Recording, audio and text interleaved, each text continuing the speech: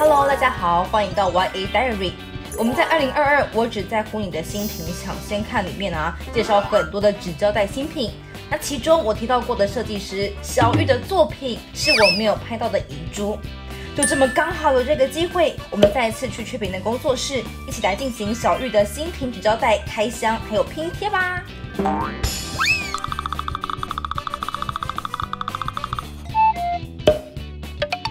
设计的薰衣草搭配蝴蝶，还有充满文艺感的小物，可以作为华丽突出的主角，也可以制造出鲜艳的自然景色。美丽的樱花季就是我先前说我最喜欢，可是呢是在我之前的发布会上面根本没有使用到的新品。那它呢有各种大小的樱花素材，可以搭成花团锦簇的热闹景象，还可以作为霸气的拼贴主角。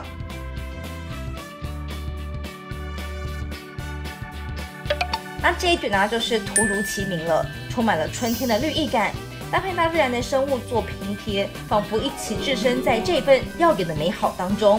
诶，旁边还有小露珠哦。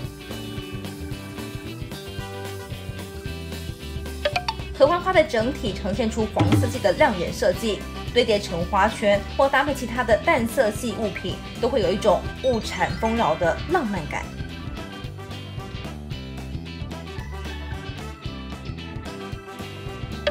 OK，身为不太喜欢各种昆虫的我们，也可以接受这样子七彩的美丽蝴蝶。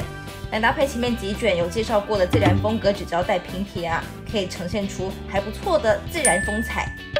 在暗色系的纸上啊，可以呈现出非常华丽的浪漫感。来作为点缀各种风格小物的配角，它可以成为其中很低调的亮点。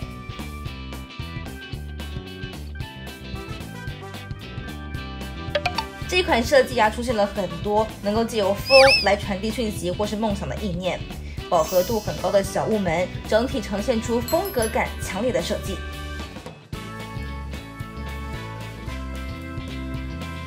美好的一天，包含了很多食衣住行娱乐的精美小物。那作为拼贴当中的主角或配角，都可以呈现出很吸睛的设计哦。你看，这里还有小王子里面小玫瑰的这一朵花叶。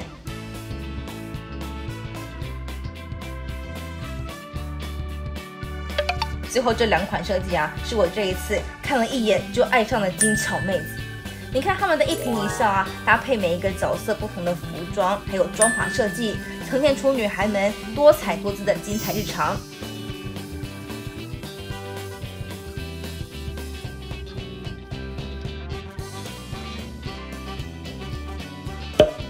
这次的拼贴成果们呈现了一些古风还有时尚的风格。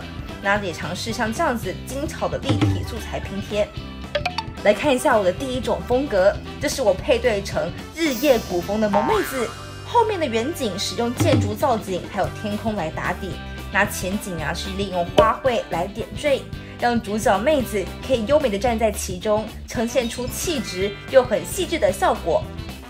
那这一款是参考了雀屏的设计，这一款呢是用了东华的妹子，不过背景堆叠了多层的素材，整体希望可以呈现出丰富又不失秩序的飘逸时尚感。第三款也是成对的，我用花卉自然景色做整体的铺垫，把黄色和紫色作为主色系搭配起来，十分的和谐有气质。小玉的妹子啊，坐在这里面若有所思，成为这一幅美景里面的最佳风采。OK，最后的小卡使用到刚才提到我很喜欢的玻璃罩玫瑰花，应该是象征着小王子和他的玫瑰。那搭配一些梦幻的泡泡和渲染的色彩，以及站在一旁有书香气质的美女，完成了一幅美景。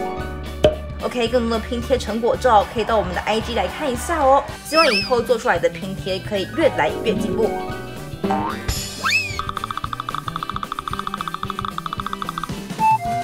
以上呢是我们这一次小玉的贴贴世界新品开箱以及拼贴应用哦。这里面有没有您特别喜欢的风格呢？如果您有任何的问题的话，都欢迎在频道或 IG 留言给我们哦。美好的拼贴还有文具人生，我们下次见啦，拜拜。